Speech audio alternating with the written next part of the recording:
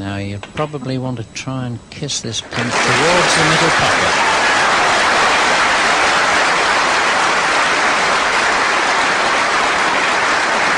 So that 130 now is the highest break of the championship so far.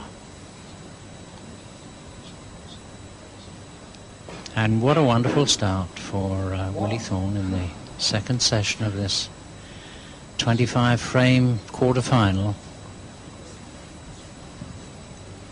I think the thing that must be pleasing Willie is the way that he's made the break. Absolutely superb. Been on every shot that he played for.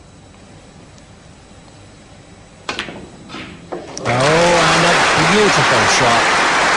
Played at double strength to come up behind the black. Now, will he be a little bit fortunate on this? And a tremendous round of applause. He's right on the black. Must be the shot of the championship. Fantastic shot. Marvellous.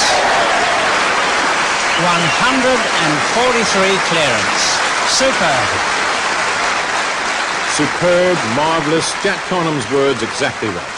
And that break wasn't battered, and Willie Thorne won two and a half.